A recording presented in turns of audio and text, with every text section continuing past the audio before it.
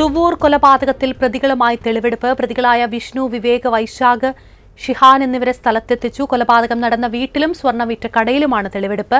വിവരങ്ങളുമായി രുചീഷ് രവീന്ദ്രൻ ചേരുകയാണ്. രുചീഷ് യൂത്ത് കോൺഗ്രസ് പ്രാദേശിക നേതാവ് അടക്കം പ്രതിയായ കേസാണ് ഇപ്പോൾ വീട്ടിൽ തെളിവെടുപ്പ് തുടരുകയാണോ? എന്തൊക്കെയാണ് വിവരങ്ങൾ? ജൂലിയറ്റ് ഇപ്പോൾ വിഷ്ണുവിന്റെ യൂത്ത് കോൺഗ്രസ് പ്രാദേശിക നേതാവായ വിഷ്ണുവിന്റെ വീട്ടിലെത്തിച്ചുള്ള തെളിവെടുപ്പാണ് പുരോഗമിക്കുന്നത്. വീടിനുള്ളിലാണ്. ഇപ്പോൾ പ്രതികളെ എത്തിച്ചിരിക്കുന്നത്.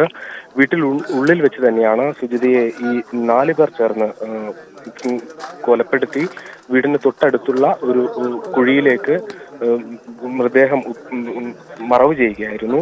ഈ എങ്ങനെയാണ് കൊലപാതകം നടത്തിയത് എന്നുൾപ്പെടെയുള്ള കാര്യങ്ങൾ പ്രതികളോട് നേരിട്ട് ഈ സ്ഥലത്ത് വെച്ച് തന്നെ ചോദിക്കുകയാണ് പോലീസ്. ഇപ്പോൾ വീടിനുള്ളിൽ തന്നെയാണ് ഇപ്പോഴും തെളിവെടുപ്പ് നടക്കുന്നത്. പ്രധാനപ്പെട്ട ഒരു കാര്യം ഇതിനുശേഷം ഇതിന് ശേഷം സുജിതയുടെ സ്വർണാഭരണങ്ങൾ വിഷ്ണു വിറ്റ സ്വർണ കടയിൽ കൂടി തെളിവെടുപ്പ് ഇന്ന് നടത്തും. കേസിലെ നിർണായക തെളിവായ സുജിതയുടെ മൊബൈൽ ഫോൺ കണ്ടെത്തേണ്ടതുണ്ട്.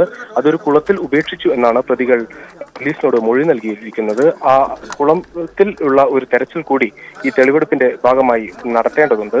രണ്ട് ദിവസത്തെ പോലീസ് കസ്റ്റഡിയാണ് നാല് പ്രതികൾക്കായി കോടതി അനുവദിച്ചിരിക്കുന്നത്. അഞ്ചാമത്തെ പ്രതിയായ വിഷ്ണുവിന്റെ അച്ഛനെ ഈ തെളിവെടുപ്പിനായി ഇന്ന് കൊണ്ടുവന്നിട്ടില്ല. ജൂലിയറ്റ്. ശരി രുചി ശവീന്ദ്രനാണ് വിവരങ്ങൾ നൽകിയത്.